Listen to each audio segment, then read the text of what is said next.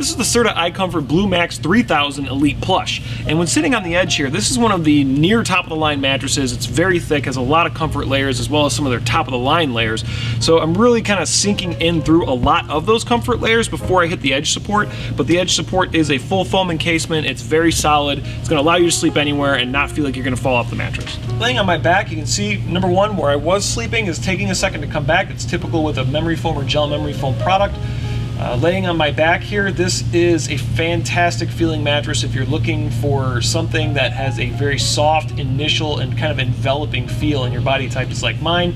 As a back sleeper, this feels really good. My hips are getting great pressure relief, so are my shoulders, good support in my lower back.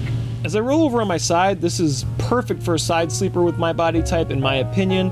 Again, a very high degree of body contouring. You can tell my head is completely parallel with the mattress, which means that in theory, I really wouldn't even need a pillow, although I still highly recommend a thin pillow uh, because it will take some of the pressure off your shoulders.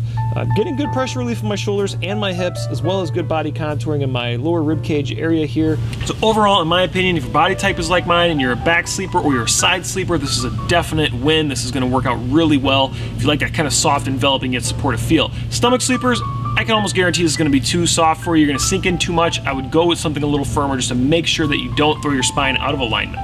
We hope you found this video helpful, but if you have any questions, please feel free to reach out to us at 1 800 455 1052. Or you can leave us a message on this video, we'd love to hear from you. Or if you'd like, during normal business hours, you can speak with a member of our chat team.